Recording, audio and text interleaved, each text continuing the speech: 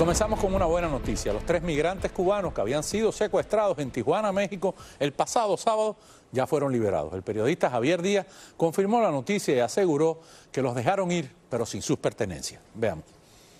Hasta el momento, lo poco que sé es que fueron dejados en libertad prácticamente sin ninguna de sus pertenencias, incluido su teléfono celular. Tuvieron que comunicarse con sus familiares y seres queridos desde otro teléfono celular.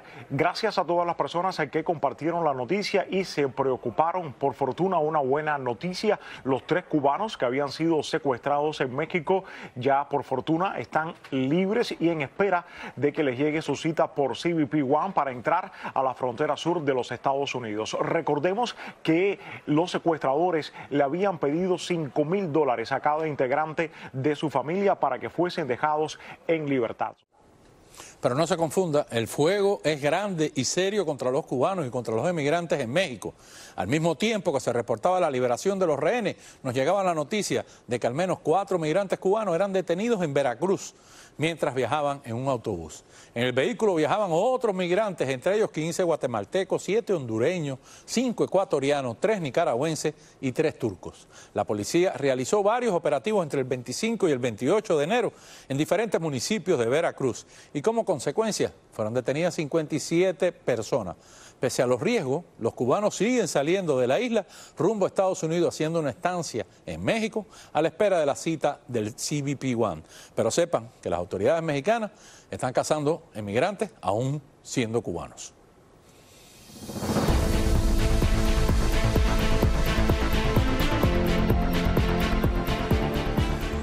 Los jubilados cubanos sufren el doble que los cubanos jóvenes, porque además de todas las necesidades que hay en el país, su chequera no les alcanza para nada. Ellos mismos nos lo cuentan, veamos. El salario mío es 1.578 pesos. 1.578 pesos. Y el precio, ya ustedes saben cómo está el precio de, los alimentos y, de, todo lo que hay en la calle. Mi, mi, salario no me alcanza para nada. Mi salario no me alcanza para nada. Es muy alto, es abusivo. Eh, la, todo aquello que se jubilaron este, prácticamente con salario bajo, que salario este, escala, 1578 pesos. 28 también. La gente no puede comprar ni un, ni un pomo de aceite. Mm. Ni un pomo de aceite, la vianda está carísima, todo está caro. Aquí cada cual este, vende, eh, pone el precio que le da la gana. Hay mucha gente buena en Cuba que quieren ayudar a los más necesitados. Y las iniciativas de ayuda para estos necesitados no dan abasto. Como sucede con el comedor social de la esquina de Maloja y Ángeles en Centro Habana, que le preparó una sopa a los ancianos y desamparados y comprobaron que se quedaron por debajo de las expectativas. Miren, esto sucede en ese lugar.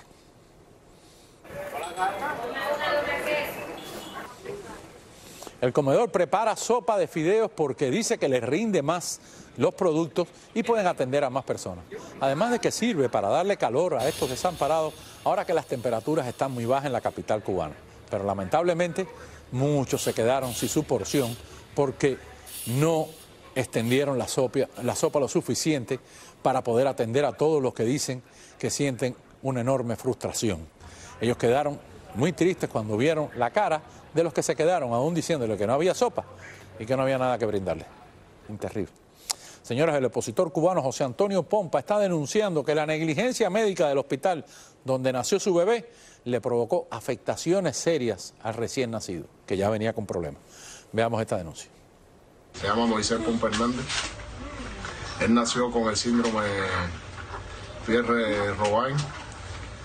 Eh, dio a luz en el el hospital eh, de aquí en Vedado, en el González Coro.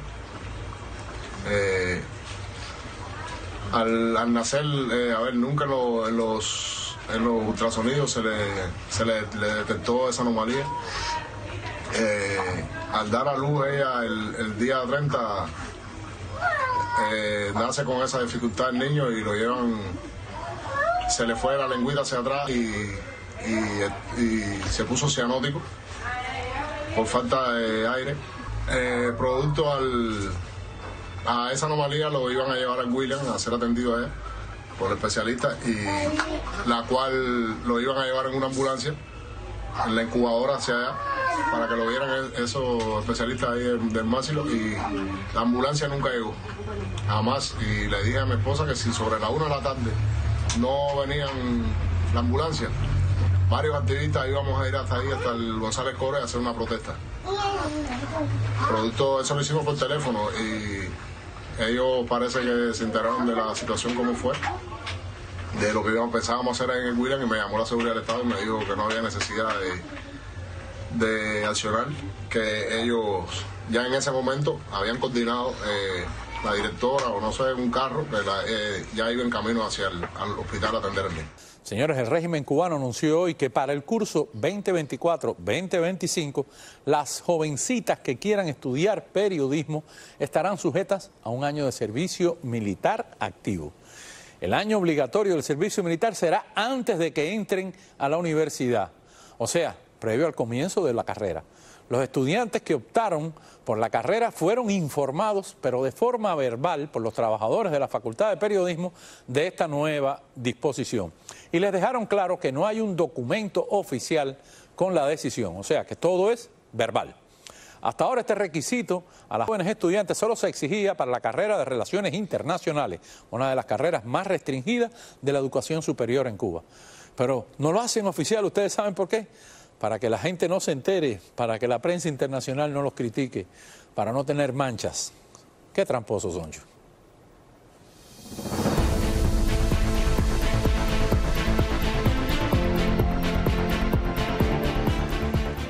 Tendencia en las redes, la familia cubana que adaptaron los restos de un avión, un DC-8, para fabricar dos habitaciones en su propia casa. Hasta allá lo fue a visitar este internauta. Vean ustedes.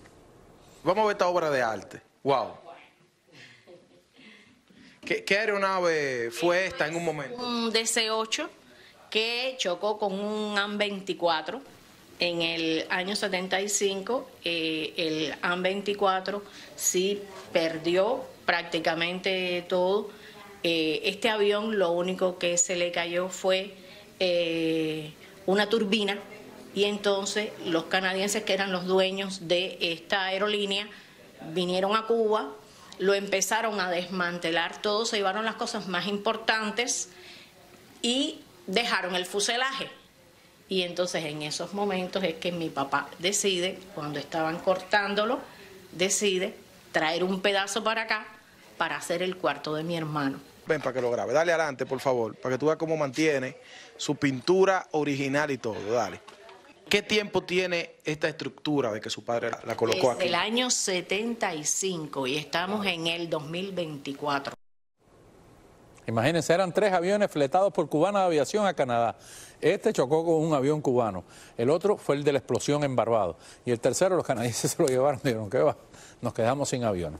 Señores, el cubano Cándido Luis González Posada Carmona está impresionado por la cantidad de ardillas rojas que están apareciendo en las barriadas de La Habana. No solo en Nuevo Vedado, en toda La Habana. Este video que van a ver a continuación fue tomado en la céntrica esquina de calle C y línea. Esto es lejísimo del zoológico de Nuevo Vedado, de donde inicialmente comenzaron a migrar las ardillas. Otros usuarios afirman haber visto estas ardillas en otras zonas de la ciudad, como los jardines de la Tropical, el Parque Almendares, imagínense ustedes.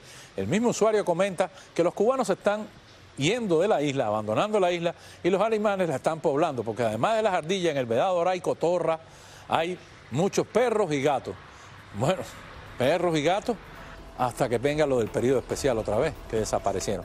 Pero señores, ardillas en Cuba, increíble pero cierto. Hacemos la primera pausa y a regresar, un crucero turístico de los Estados Unidos rescata en alta mar a un grupo de balseros cubanos que estaba a la deriva. Y los cubanos de a pie aseguran que el periodo especial nunca se ha acabado. Que referirse en pasado al periodo especial es negar la realidad de los cubanos, que ellos nacieron con periodo especial y todavía siguen en periodo especial. Ya volvemos, no se vaya, aquí en Mega TV, donde se decide la política.